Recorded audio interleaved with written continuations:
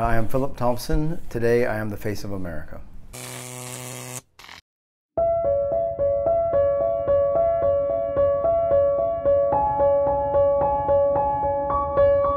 Idaho often gets um, misconstrued as being some uh, bastion of white supremacy, um, antiquated, old-fashioned, and we're traditional. But I would I would hesitate to say we're antiquated and old-fashioned.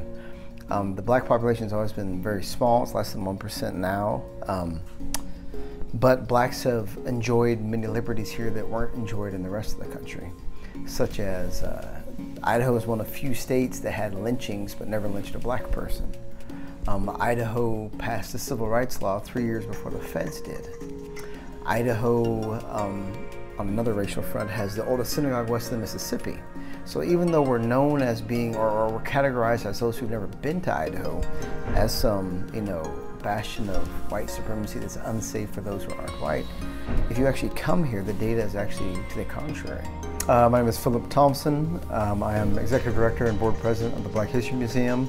Um, sixth generation Idahoan, Muslim, black, um, work with Parkinson's patients, boxing coach, jack of all trades. The um, Idaho Black History Museum is, uh, of course, created in 1999, and we're actually approaching our 20th anniversary on uh, March 8th. Um, it was actually, it, it is housed in the first black church that was created in the state of Idaho. It was actually built by my great great grandfather and his father in law.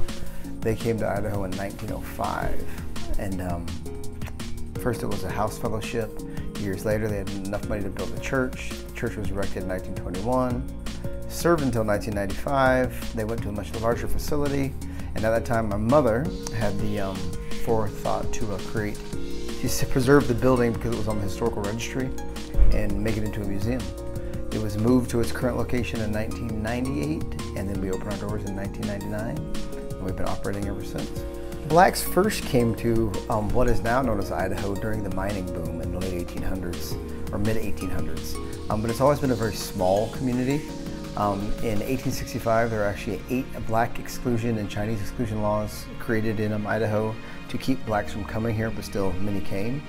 Um, Idaho didn't become a state until 1890.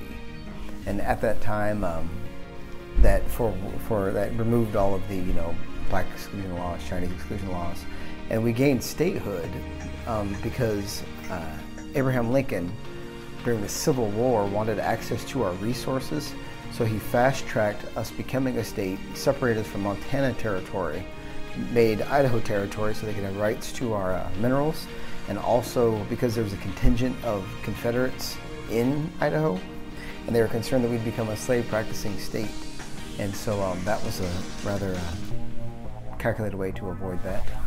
Blacks have always been a very small um, population here, but blacks have always lived um, separate from the narrative of a lot of the rest of the country.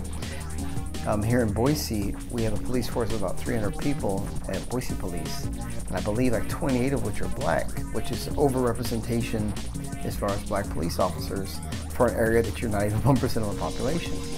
Um, we also have uh, my mother, she's a state official, she's a senator. Um, she was the first black elected to that office, and before that to the House in one of the more affluent neighborhoods in Boise. So, I mean, that's counter to the narrative that, hey, black people aren't safe here. And I think um, Boise and Idaho as a whole, although Boise isn't necessarily Sandpoint, Sandpoint isn't Middleton, Idaho overwhelmingly is a very um, inviting location. Um, I'm Muslim. We have 11,000 Muslims in Boise, Idaho, which is a rather large population, yet you don't have this disconnect between the Muslim and non-Muslim population. We have a huge refugee population. We're one of the most successful refugee relocation destinations in the world, internationally renowned. Um, Twin Falls and Boise. Twin Falls is a little more conservative than we are. And um, I went and met with a representative from their mosque, and he had nothing but laudatory things to say about how great Twin Falls was. They've had a hiccup or two, but every time that has happened, meaning some type of hateful letter or a cross burned, the entire city came out to support them.